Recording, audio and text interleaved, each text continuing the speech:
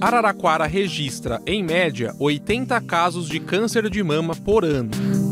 Boa tarde a todos, seja bem-vindo. Para conscientizar sobre o assunto e trazer informações para a população, a Câmara Municipal abriu a programação da campanha Outubro Rosa com a realização de uma palestra.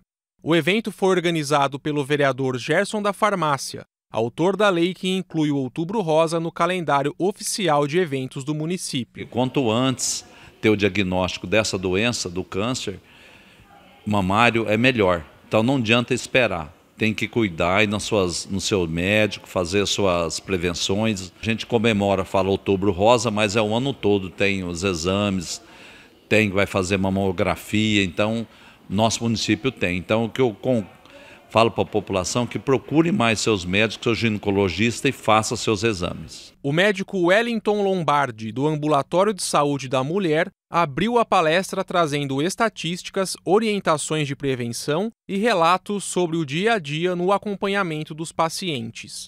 O câncer de mama é o segundo mais comum entre as mulheres no Brasil, perdendo apenas para o câncer de pele. O especialista relatou que o câncer de mama pode ocorrer por vários motivos, como exposição à radiação e a raios solares UVA e UVB, mas também existem outros fatores de risco. Um deles é ser mulher, já que a doença é muito mais frequente no sexo feminino, 135 casos em mulheres para cada homem diagnosticado. Outros fatores são a idade avançada, histórico familiar, o consumo de bebidas alcoólicas e cigarro, falta de atividade física e obesidade. O médico ainda ressaltou que o autoexame nas mamas é um método importante para a mulher conhecer melhor o próprio corpo, mas não substitui a mamografia, que deve ser realizada a partir dos 40 anos. Por isso que é importante a gente falar do autoexame, não como teoricamente prevenção, mas é para a mulher se conhecer. É, de 10 que eu pergunto na mesa de, exame, se ela se toca, né, 9 fala que não.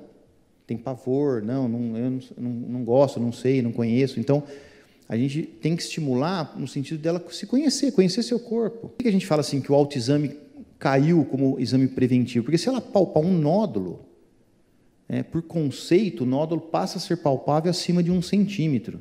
Então já perdeu a fase de prevenção, porque já está palpando um nódulo. Né? Se esse nódulo está aí é porque ele já está presente há uns 6, 8 anos.